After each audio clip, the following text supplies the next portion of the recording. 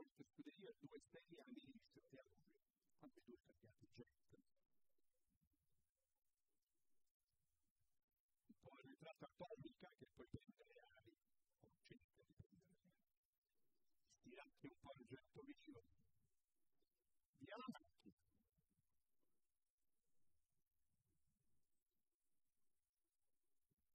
A Milizio e allegra Gifont, con di dentro argento vivo. Passa a Vinicio, interviene all'ergo, allegra Gifont. I cavalli affrontano la piegata di dentro argento vivo. Ora Antonio Di Nardo potrebbe puntare in avanti con la sua allegra e si completa il lancio in 14 e mezzo. Infatti si presenta allegra su Americcio e gradatamente lo sopravanza e dopo un quarto iniziale va al comando. In terza posizione Argento Vivo. 28 e 9 sul mio cronometro per la leader Allegra. E i cavalli ora affrontano in fila indiana la seconda curva.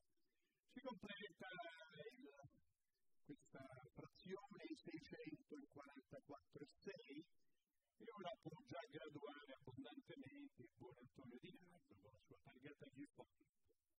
Fa la mezza ruota, il getto vive un po' insofferente, si completa la piegata, mezzo miglio iniziale in 1-1 e 9 addirittura, 17-2 di frazione. Addormenta la corsa l'Allegra Gifonte, ne approfitta e tre di Ananas, ma viene controllato Argento Vivo. I due vanno su Allegra che deve cambiare musica e registro. 17-8 sul mio il primo chilometro, terza ruota per Ananas che sospinge Argento Vivo su Allegra. Tre cavalli in diagonale, attenzione non è l'arrivo. Mezzo miglio alla conclusione, una frazione in 15 e mezzo. Ma Allegra per il momento tiene da parte Argento Vivo che si limita da, a mezzo cavallo, poi di dentro a Milicio, Ananas e poi Atomica. La frazione di fronte è 14 e 4.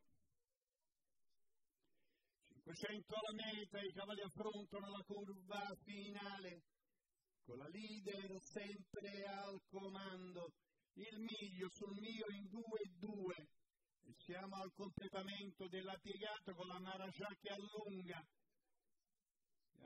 Completamento della curva finale, allunga allegra, prende vantaggio Allegra Gifont, Argento Vivo